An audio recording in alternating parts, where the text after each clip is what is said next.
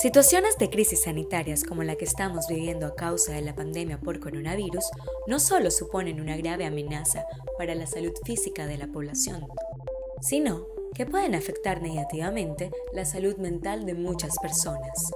Por ello, el Departamento de Enfermería de la Universidad del Norte emprende un programa de voluntariado que busca brindar apoyo psicológico a la población afectada. Veamos qué debemos tener en cuenta para poder ayudar adecuadamente a las personas que requieren atención psicológica en estos momentos difíciles. Presentación. Preséntese al paciente o familia. Explíqueles que está ahí para ofrecer su ayuda. Privacidad.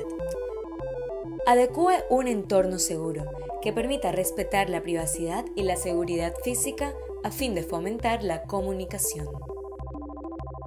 Priorice.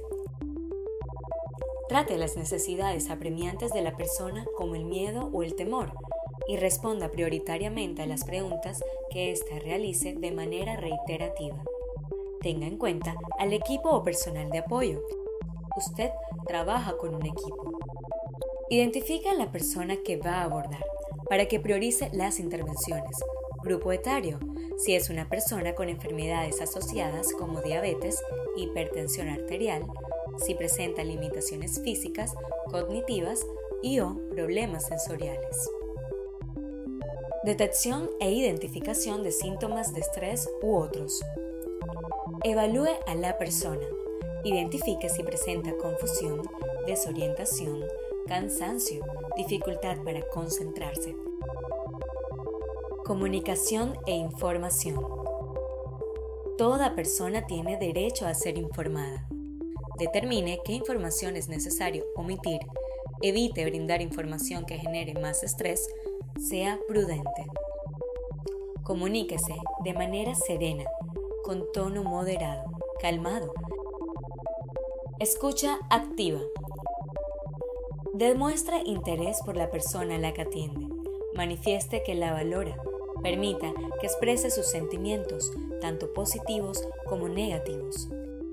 Identifique las necesidades y preocupaciones actuales. Motive a la persona a que hable de lo sucedido, de su experiencia, pero no lo presione para que le dé detalles cuando no lo desee. Si le expresa que un ser querido está enfermo o falleció, bríndale consuelo e información acerca de cómo afrontar la situación. Dígale que no está solo, que puede contar con usted o con el equipo de la salud. Esperemos que con esos consejos pueda ofrecer un buen apoyo psicológico a las personas que lo requieran en tiempos de crisis. No olvide que la salud mental es también salud y que este virus lo paramos unidos.